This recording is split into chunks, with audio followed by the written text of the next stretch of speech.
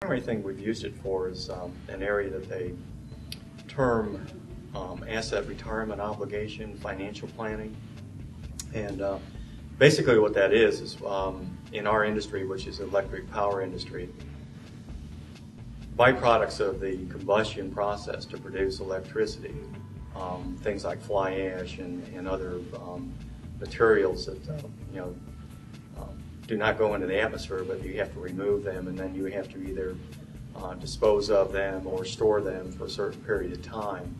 And at some point in the future, either upon plant closure or depending on whether or not your storage facilities are nearing or reaching capacity, you're going to have to do what the government requires you to do. Either EPA or state regulatory bodies are going to require you to, depending on the, the nature of the hazardous material, whether it's hazardous or not, could leak into the ground supply, you know, water. Um, you have to do some planning for how you're going to close those um, storage sites and um, make them kind of a green acres um, concept that, that they will not affect the environment. Number two, you know, can they be used for other you know, societal uh, purposes, or even can you do something with being able to put um, capital infrastructure back on that site? Um, in other words, it'll be usable.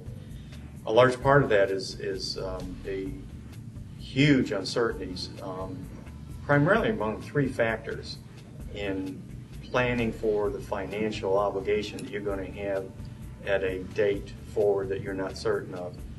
Um, so primarily the uncertainties in that are say, okay, how do we do our financial planning? We know we're going to have to have expenditures of certain dollars to cover the resources necessary to close these facilities in a, in a safe and environmentally sound manner.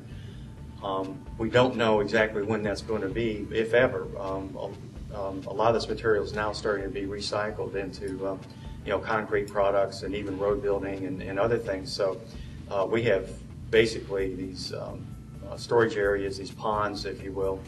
You can store this material, but then we take some out at a certain rate. So you have to look at the rates of, of uh, filling your storage facility, the rates of extraction, if that's being used. Um, you have to predict, let's say, depending on um, you know, how much of this material is going to come in in the future.